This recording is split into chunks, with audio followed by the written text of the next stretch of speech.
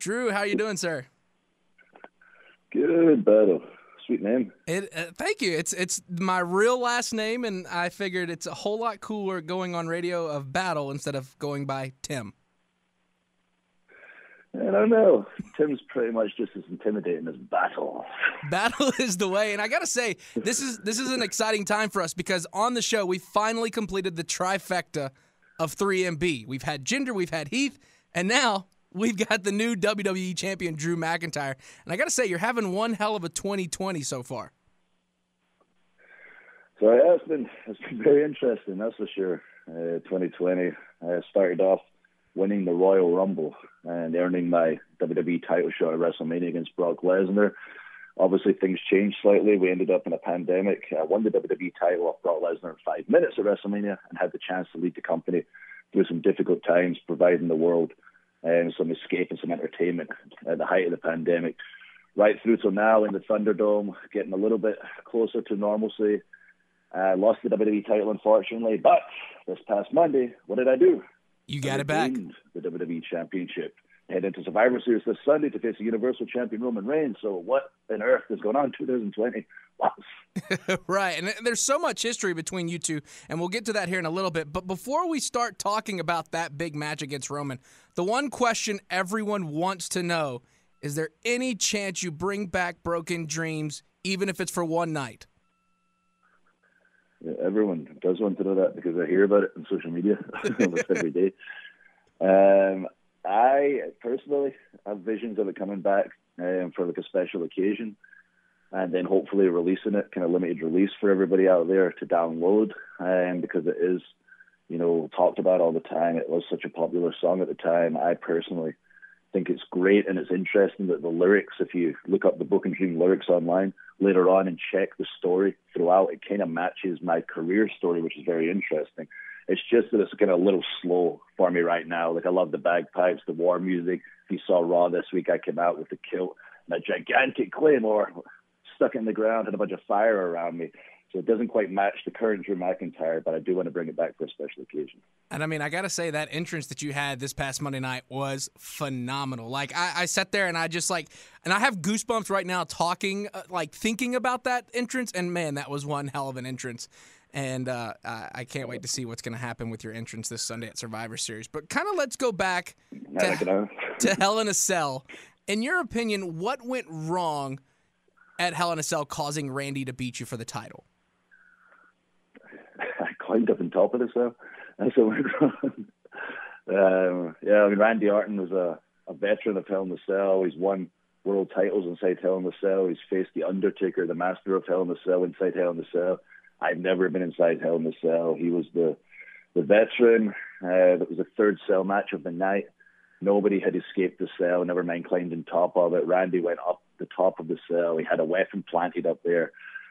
I just love fighting. I can't help myself. I'm in the heat of battle, I get carried away, and I climbed up a 20 foot cell when I hate heights.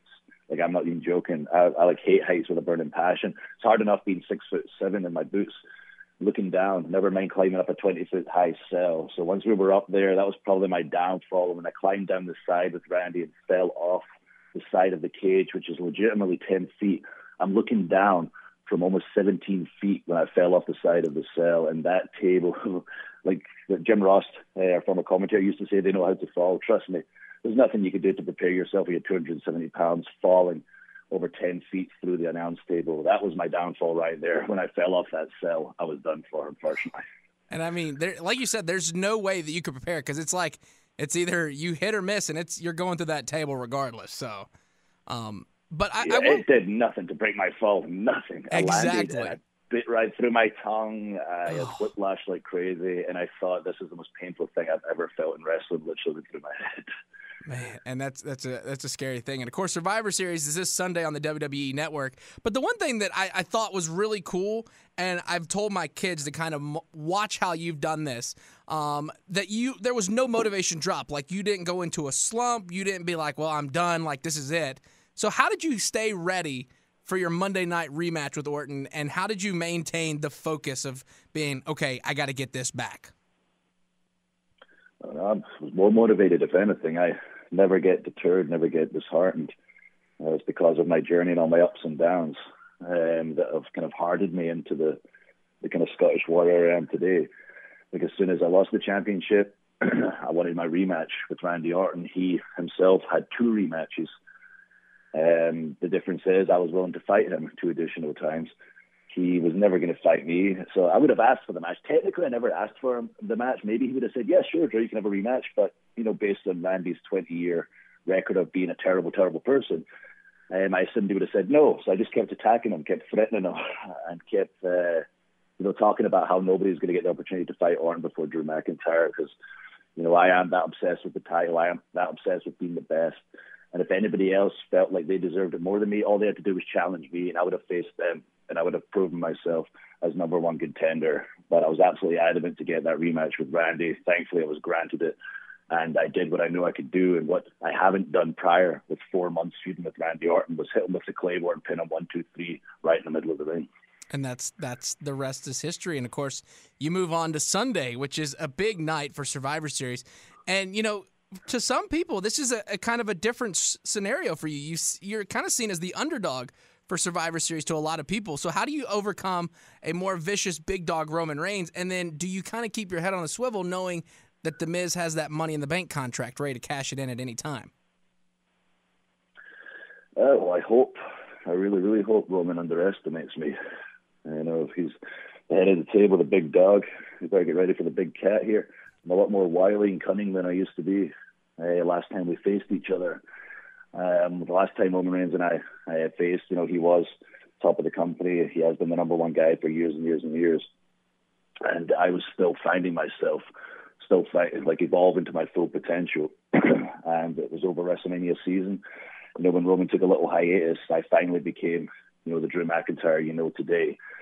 And he said on SmackDown last week he wasn't watching. He's not been paying attention to the show. He doesn't know what I'm all about now, and that's on him because he's going to get a shock come Survivor Series. So Paul Heyman is right there with them. If you know Paul will to fill him in, you might want to watch out for this guy because it's the same guy that hum, like humbled Brock Lesnar leading up to WrestleMania, then defeated him in five minutes. Remember the Brock Lesnar that bust your head open at WrestleMania a few years ago, Roman? That guy, yeah, Drew destroyed him.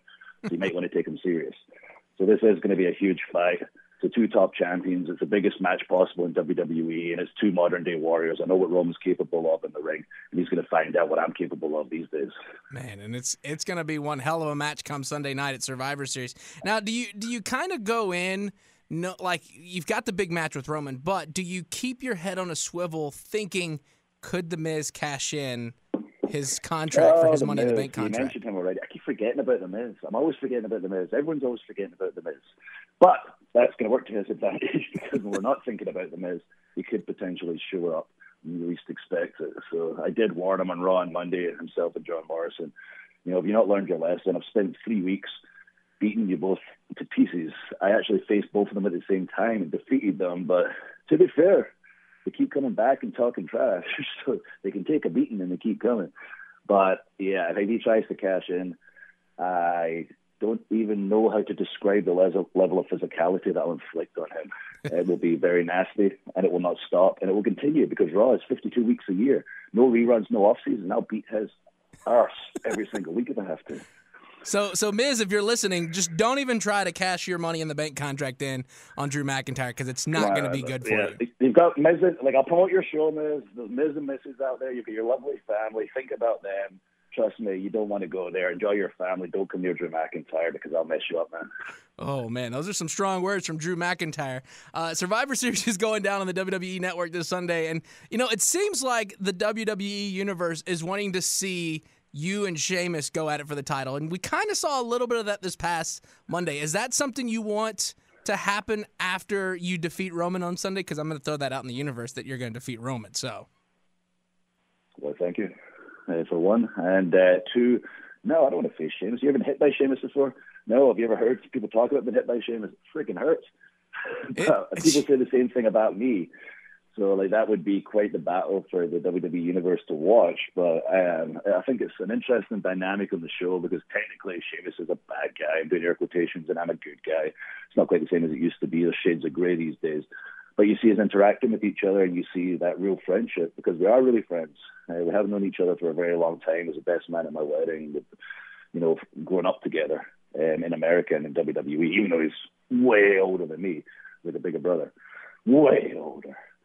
As I always like to point out to him. Um, so it's fun having that dynamic on the show and showing that real relationship. And I think it'd be cool if we actually did some stuff together for a little while um, before any big matches. If he wants the match, you can have the match, I guess. But I think it'd be interesting to see us do some stuff together, but not changing our roles, still being the same people, still being the same characters. He's got his way he does things people like or don't like. I've got my way of doing things people like or don't like, but together we're very interesting dynamic as a team because there is that real friendship. Right, and there's so much history, and we've actually had Sheamus sitting here in the studio with us before. So once once kind of pandemic ends and you get back to Nashville, definitely have you in the studio. But I do want to throw this out because WWE has been phenomenal at cinematic matches. Can we get like a Sheamus Drew McIntyre Drew McIntyre Highlander match kind of cinematic version? Yeah, maybe some kind of Celtic chaos match. Maybe yes. we can base it in Nashville because you know technically Sheamus lives there. He's the Nashville Warrior um, so maybe we can we can arrange it in your local town, and we can come and hang out in the studio together and promote it once things get back to normal. Yeah, I'm I'm all down for that. So anytime, next time you're in Nashville, you know, after pandemic's done, studio doors wide open, and Drew Sunday night Survivor Series, that hand's getting raised. You're gonna beat Roman.